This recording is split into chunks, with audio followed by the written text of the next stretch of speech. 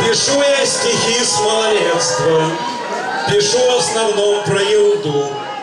Оно и понятно, елда ведь, как Путин, всегда на виду. С ней связаны наши заботы, с ней связаны наши труды. Шедевры любого искусства вращаются возле елды. Любой вдохновенный художник одно лишь имеет в виду понравится женскому полу и к делу пристроить елду. Серьезные люди недаром в политику также идут.